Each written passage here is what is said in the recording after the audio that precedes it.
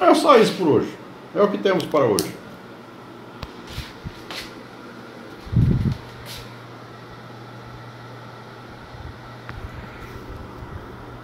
Quem sabe um dia eu chego lá, né?